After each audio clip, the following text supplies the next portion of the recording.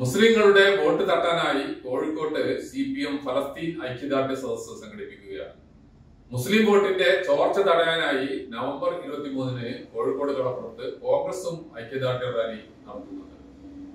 രണ്ടിലും പങ്കെടുക്കുന്ന രാഷ്ട്രീയ പാർട്ടികളോടും മതസംഘടനകളോടും ഒരു അഭ്യർത്ഥന നടത്താനാണ് ഇന്ന് ഈ വീഡിയോ ചെയ്യുന്നത്. അവിടെ നിങ്ങൾ ആദ്യം ഇത്തരമൊരു പരിപാടി സംഘടിപ്പിച്ചവരെ മുക്തകണ്ഠം പ്രശംസിക്കും. അത് സ്വാഭാവികമാണ്. അതോടൊപ്പം നിങ്ങൾ പൊരുതുന്ന ഫലസ്തീനികളോട് ഐക്യദാർഢ്യം പ്രഖ്യാപിക്കുകയും ചെയ്യും. അതും നിർബന്ധമായും വേണ്ടതാണ്. എന്നാൽ അതിനുശേഷം വിഷയത്തിന് പുറത്തുള്ള ഒരു പ്രധാന കാര്യം കൂടി നിങ്ങൾ സംഘാടകരോട് പറയണമെന്ന് അഭ്യർത്ഥിക്കുകയാണ്. നിങ്ങൾ മണ്ടന്മാരല്ല മറിച്ച് കാര്യങ്ങളൊക്കെ തിരിയുന്നവരാണ് എന്ന് സംഘാടകരെ അറിയിക്കാൻ വേണ്ടിയാണ് ഇക്കാര്യം പറയുന്നത്. മറ്റൊന്നുമല്ല ജാതി സെൻസസിന്റെ കാര്യമാണ്. സി പി എമ്മുകാരെയും കോൺഗ്രസുകാരെയും നിരന്തരം ഓർമ്മിപ്പിച്ചുകൊണ്ടിരിക്കേണ്ട അടിയന്തര കാര്യമാണിത്.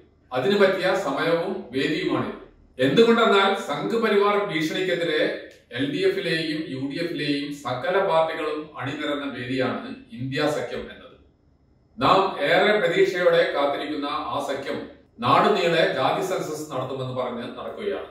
ആ സഖ്യത്തിൽപ്പെട്ട നിതീഷ് കുമാർ ബീഹാറിൽ ജാതി സർവേ നടത്തിയെന്ന് മാത്രമല്ല സർവേ റിപ്പോർട്ടിന്റെ അടിസ്ഥാനത്തിൽ സംസ്ഥാനത്ത് സംവരണം അറുപത്തി അഞ്ച് ശതമാനമായി ഉയർത്തുകയും ചെയ്തു.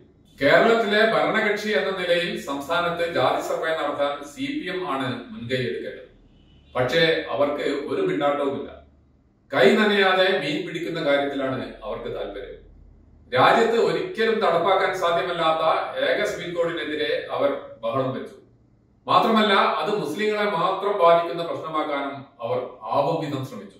ബി ജെ പി വെച്ച കെടിയിൽ മുസ്ലിങ്ങളെ വീഴ്ത്തി രക്ഷകന്റെ റോൾ എടുക്കുകയായിരുന്നു അവരുടെ ലക്ഷ്യം. മറ്റ് മതവിഭാഗങ്ങൾ തന്നെ ബി ജെ പിയുടെ കെടി തിരിച്ചറിഞ്ഞു. ഒടുവിൽ ബി ജെ പി പിന്മാറേണ്ടിയും വന്നു. എന്നാൽ സി പി എം അതിന്റെ പേരിൽ കുറച്ച് മുസ്ലിം വോട്ട് സംഘടിപ്പിക്കാനാണ് നോക്കിയത്. അതിലവർ കുറച്ച് വിജയിക്കുകയും ചെയ്തു. ഇതിന്റെ പേരിൽ സമസ്തയിൽ ഭിന്നിപ്പുണ്ടാക്കാൻ കഴിഞ്ഞത് സി പി എമ്മിന്റെ ഒരു നേട്ടമാണ്. ഫലസ്തീൻ മറ്റൊരു ഉദാഹരണമാണ്.